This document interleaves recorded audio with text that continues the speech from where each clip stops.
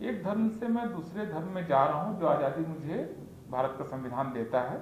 तो आप जब एक धर्म से दूसरे धर्म में जाते हैं तो पिछले धर्म की बातों को नहीं मानते हैं और एक नए धर्म को मानते हैं, जो आपको अच्छा लगता है। ये आपकी चॉइस है। अधिकार हमें मिला हुआ है, लेकिन जब हम उसको एक्सरसाइज करने जा रहे हैं तो आप देख रहे हैं कितना हंगामा हो रहा है।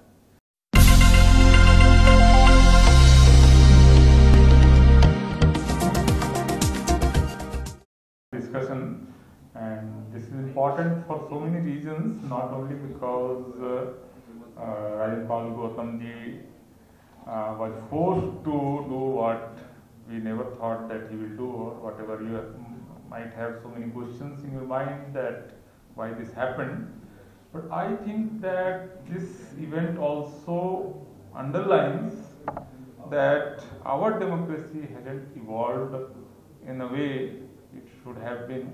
And there are some uncharted territories, some spaces where ideally, according to constitution, we sh- should have gone, but when we go there, as if there is some uh, dynamite is there which blasts.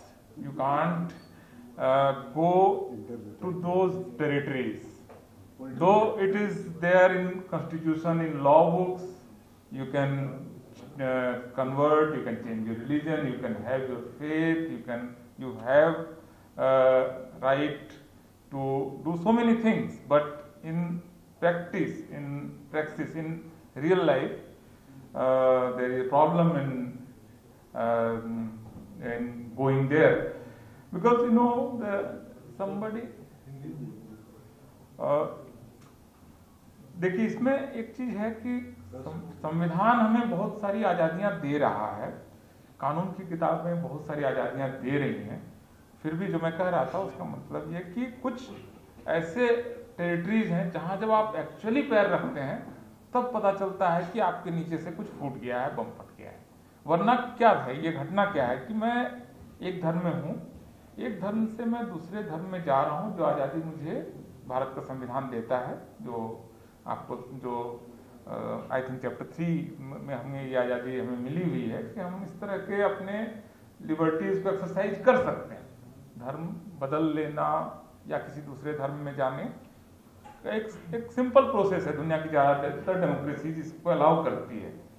तो आप जब एक धर्म से दूसरे धर्म में जाते हैं तो पिछले धर्म की बातों को नहीं मानते हैं और एक नए धर्म को मानते हैं जो आपको अच्छा लगता है, ये आपकी चॉइस है।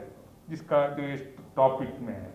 तो बाबा साहब जिस समय बॉर्न हिंदू थे बॉर्न हिंदू से बुद्धिज्म की तरफ़ जब जा रहे हैं तो पीछे मुझे क्या क्या नहीं करना है और मैं क्या करूँगा, ये मेरे ख्याल से 22 प्रतिज्ञाओं का दो हिस्से में बांट सकते हैं कि मैं पीछे ये ये कर रहा था, ये नहीं करूँगा और अब क्या क्या करूँगा। मतलब ये मेरे ख्याल से आप सब लोगों को मालूम होगा। तो इसमें ऐसा कोई आसमान फटने जैसी बात नहीं है। एक मुसलमान अगर हिंदू धर्म में जाएगा तो बोलेगा कि मैं पीछे ये मान रहा था ये मैं नहीं मानूँगा और अब ये मानूँगा। यही कन्वर्सन का मतलब ही यही है कि मैं एक, एक किसी खास प्रैक्टिस में हूँ और उस प्रैक्टिस को नहीं करूँगा। खास करके शेड्यूल कास्ट के लोगों के लिए तो बहुत नेचुरल है कि जिस धर्म ने उन्हें इतनी ज़्यादा पीड़ा दी इतनी तकलीफें दी जिसकी कि आप विश्व इतिहास में कोई तुलना नहीं है वहाँ से निकलकर अगर कोई लिबरेट होता है मुक्ति के रास्ते पर चलता है तो इसको लेकर बहुत ज़्यादा एजिटेटेड होने की ज़रूरत नहीं है। लेकिन ऐसी घटनाएँ बता रही हैं कि भारत का जो डोमिनेंट जो प्रभावशाली डिस्कोर्स है, वो इस तरह की बात को नहीं करने दे रहा है। तो हमें लग रहा है कि इस डिबेट के ज़रिए जो अगर हम कामयाब होते हैं इस डिबेट में तो हम असल में भारतीय लोकतंत्र का वो हिस्सा क्लेम करेंगे जो कागज़ पर है और ज़मीन पर नहीं। एक्चुअली वो अधिकार हमें मिला हुआ है, लेकिन जब हम उसको एक्सरसाइज करने जा रहे हैं तो आप देख रहे हैं कितना हंगामा हो रहा है।